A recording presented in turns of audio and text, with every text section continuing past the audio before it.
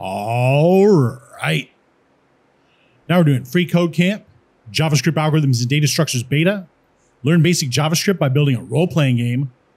Step 146. All right. So now we're going to log the value of hit to the console to use in debugging. We're going to remember that we can do this with console.log. Oh, we remember. All right. So let's come down here and say uh, console.log, console.log. Whoops. Hit like that.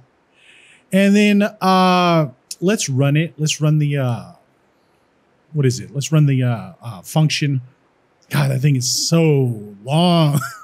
let's take this, bring it down here, and uh, throw these on it. And let's see what it does in the console. Uh, not a number. All right. Well, I guess that's because we, oh, yeah, yeah, yeah. Let's put uh, a value like mm, 20. 100. Okay. What does this do? Oh, it gives us a hit. All right. Well, there that is. Uh, let's check the code. Looks good and submit it. All right. Now we're on to step 147 and we'll see you next time.